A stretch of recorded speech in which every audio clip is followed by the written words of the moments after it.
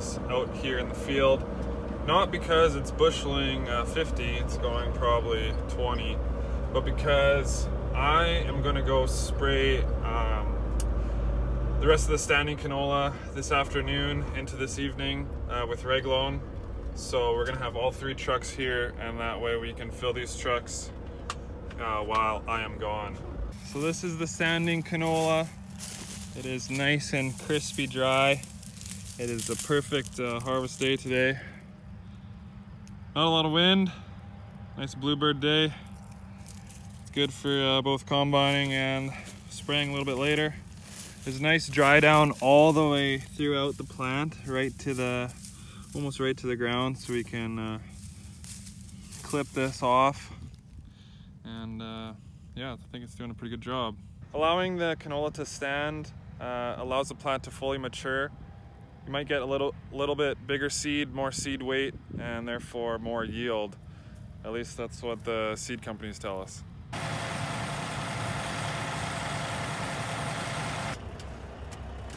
Okay, first load, going home.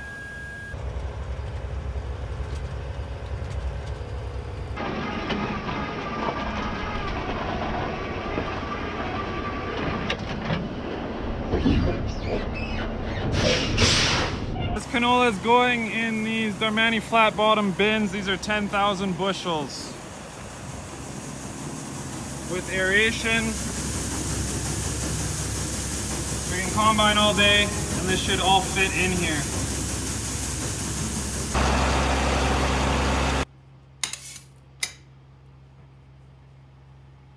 Yeah, the canola is plenty dry, 7.6. It is dry at 10.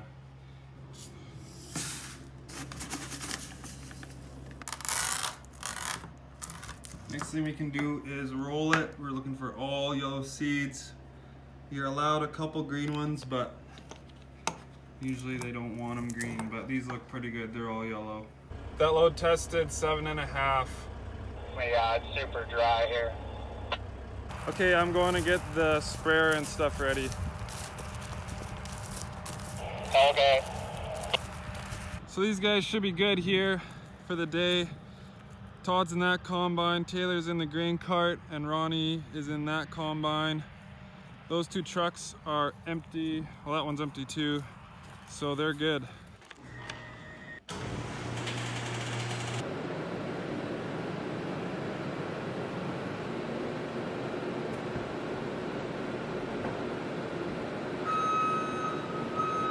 New batteries here in the Black Stallion. Just have to touch the key and the thing takes right off.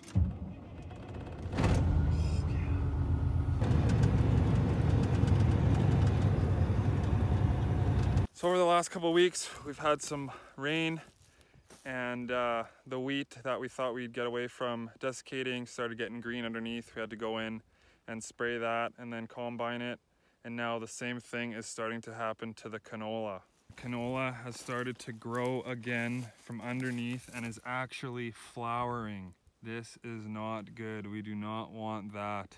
This is what it's supposed to look like. No leaves on the bottom, no vegetation just these pods and we come and combine this. But a lot of the patches within the fields look like this. This is not good. What happens is if this green material is combined and goes in the bin the canola will heat and it'll spoil. It won't last a day. So we cannot have any of this green material combined. So there's a couple options that we uh, thought over. One was why don't you just combine higher? Why don't you just cut higher? It is green almost right to the top. So even if you cut higher and kind of just snip off these pods, you're still gonna get green material and we've tried that and it didn't work. Well, why don't you just swath it? You swath it down in uh, two weeks. If the wind doesn't get it, you can pick up those swaths and that green material will dry down. You could do that, but if you did, the green material will just keep growing and it'll grow through those swaths and then you won't be able to pick those up. Well, I guess you could spray it with high water volume with a true desiccant and hopefully it'll dry down those leaves enough that then you could combine it. And I think that's the route we're gonna take. we're gonna spray a Reglone and it's gonna it's a contact herbicide so it's not systemic it's not gonna dry down those leaves internally more externally and uh, hopefully within at least a week there'll be no more of these this uh, green material and we can store it in the bin and hopefully combine this field so I think that's what we're gonna do So we're spraying a high amount of water because we want good coverage into this canopy which will uh, kill off all this green undergrowth. So with a large amount of water, we won't be able to do as many acres per tank. So I'm going to do about 80 acres per tank with this RoGator.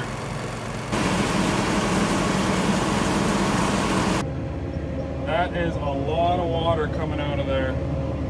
And it's not any more chemical, it's just more water trying to have good coverage in that canopy.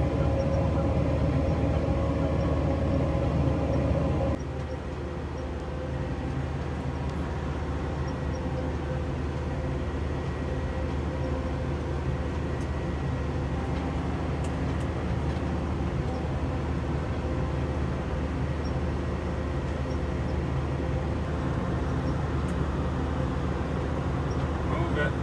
Move it.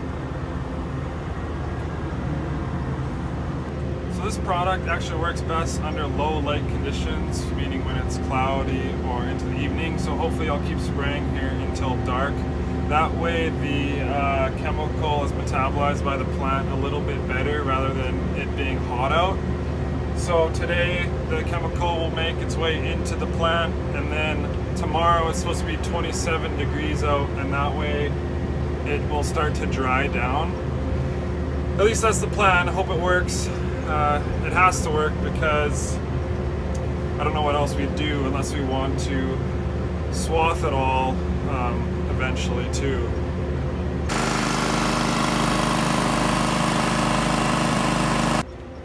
Like, look at these patches. Isn't that awful? Using these uh, little sand ridge there, all these little poor areas that's starting to really regrow bad. That's crazy. Never seen anything like it.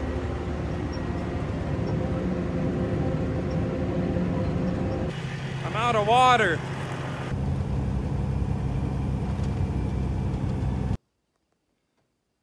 Hey! Hey! Hey!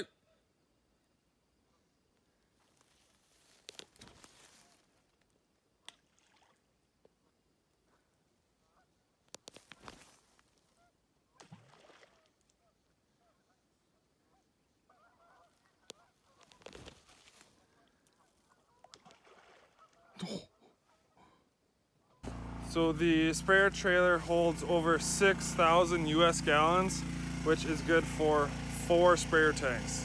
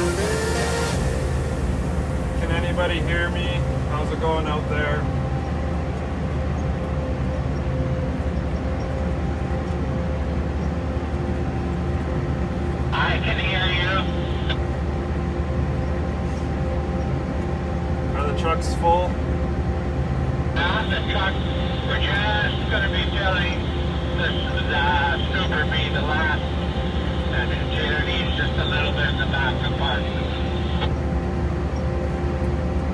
Oh yeah, that's good. I'm almost done uh, my fifth tank. No, almost done my fourth tank.